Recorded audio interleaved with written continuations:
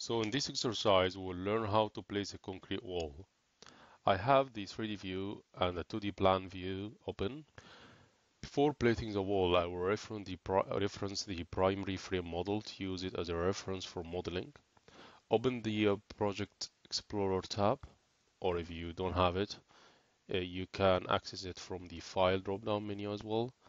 Then from the project directories, select Finished Primary framing model and select the design model file, then drag it and drop it in the view. Now we can see the primary structural model.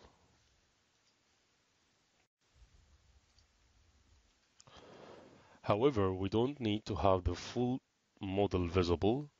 So from the floor selector tab, select the ground floor top of footing and then select the isolate view icon, icon and set the view range to minus 1 and 20 yeah minus 1 for the active floor and set, set 20 for the uh, next floor.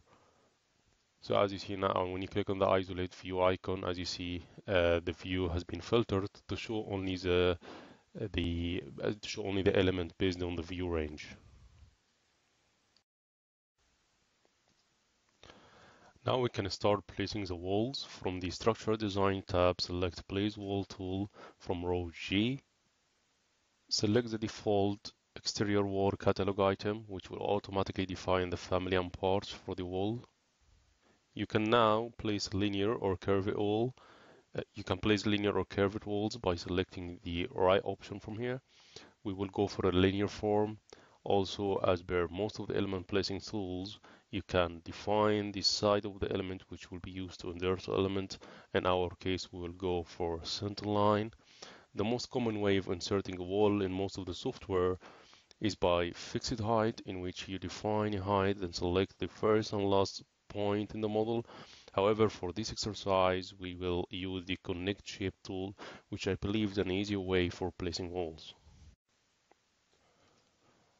After make sure the, the side and base offset are zero, go to the properties tab and scroll down to the wall dimensions field uh, and define the thickness as uh, 0.6. You can type it if it's not in the drop down menu and we will keep the height as the default 14 and then we'll go back to the uh, placement, placement tab.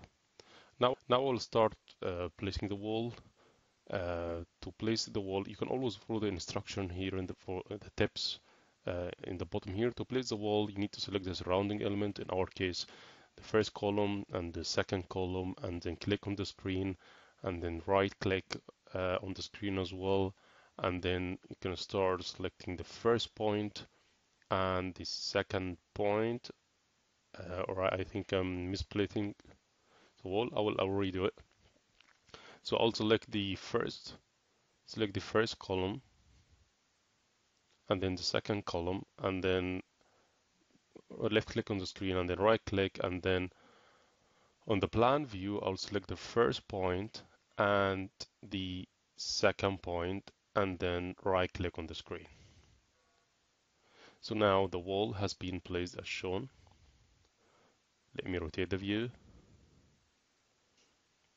Now, the beauty of using the connect uh, method for placing the wall is the wall will be fitted automatically to the selected surrounding element. So as you see, for example, we have a circular column here. The edge of the wall um, is chamfered. So if I hide the reference model, as you see, you have a curved edge of the wall.